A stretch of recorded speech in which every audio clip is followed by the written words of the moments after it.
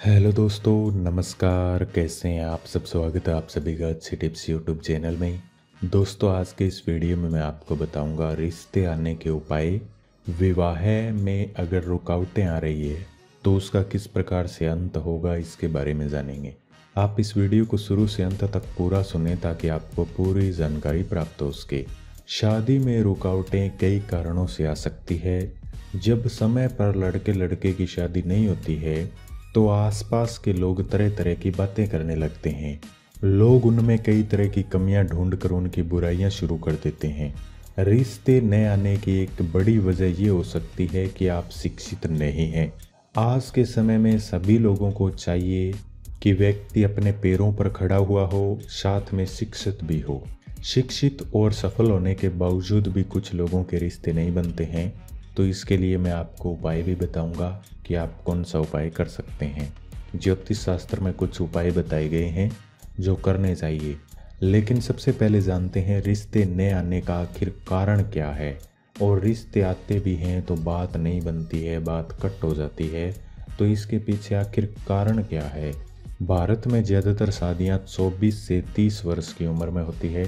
जब व्यक्ति 30 की उम्र पार कर जाता है तो शादी को लेकर टेंशन होना स्वाभाविक बात है। हर किसी को टेंशन होती है। प्रत्येक व्यक्ति को एक जीवन साथी की आवश्यकता होती है, जो बुढ़ापे तक उसका साथ बिना स्वार्थ के देश के विवाह का पवित्र बंधन जीवन की एक नई शुरुआत है। चाहे दुख हो या फिर सुख, हर परिस्थिति में कपल्स एक दूसरे के साथ खड़े रहें।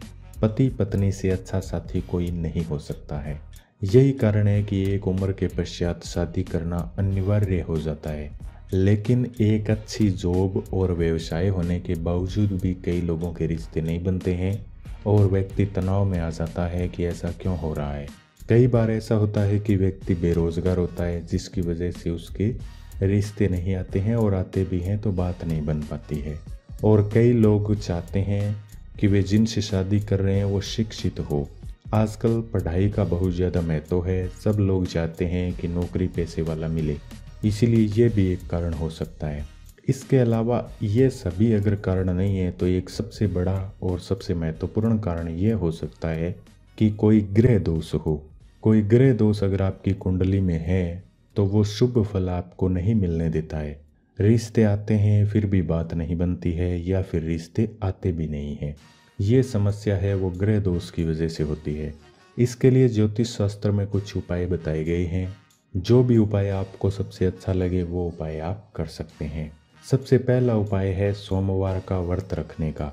अगर आप चाहते हैं कि आपका जल्दी से रिश्ता हो जाए और आपके लिए जल्दी से बढ़िया से बढ़िया रिश्ता आना शुरू हो जाए तो आप 16 सोमवार का व्रत कर सकते हैं। दूसरा उपाय है, यदि किसी लड़के की शादी में नहीं हो रही है, लड़के के लिए शादी का रिश्ता नहीं आ रहा है तो वो इक्कीस मंगलवार हनुमान मंदिर में जाएँ। माता सीता और राम के चरणों में सिंदूर रखकर शीघ्र विवाह की इच्छा व्यक्त करें। ऐसा करने से उसकी कृपा जल्दी प्राप्त होगी और उसके लिए रिश्ते आने शुरू हो जाएँगे। तीसरा उपाय है कि अगर किसी कन्या की शादी में देरी हो रही है तो कन्या के हाथों से गुरुवार के दिन दान दक्षिणा करवानी चाहिए। गुरुवार के दिन आप अपने हाथों से जो भी कन्या जिस जो भी कन्या है जिसकी शादी नहीं हो रही है, वो अपने हाथों से पीली वस्तुओं का दान करें। ऐसा करने से रिश्तों की बाढ़ आने लगेगी, यानी इतने ज़्यादा रिश्ते आएँगे कि आप सोच भी नहीं सकेंगे। इसके अलावा अगला उपाय है, जो लड़का हो या लड़की हो, कोई भी कर सकता है, और इन बातों का ध्यान भी आपको रखना चाहिए। गुरुवार के दिन पीला वस्त्र धारण करना चाहिए। पीला भोजन करना चाहिए और पीला स्नान करना चाहिए। पीले का अर्थ है कि आप भोजन में हल्दी का उपयोग करें, स्नान करें तो स्नान करने वाले पानी में चुटकी भर हल्दी मिला लें। ऐसा करने से आपको काफ़ी फ़ायदा मिलेगा।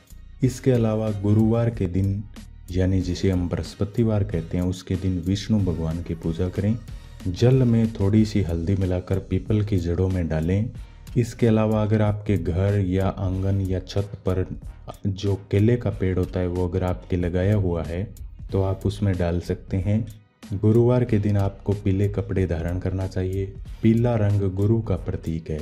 इस दिन आपको पूजा भी जब आप शाम को करें, शाम को आपको घी का दीपक जलाना चाहिए, तब भी आपको पीला वस्त्र धारण करना है।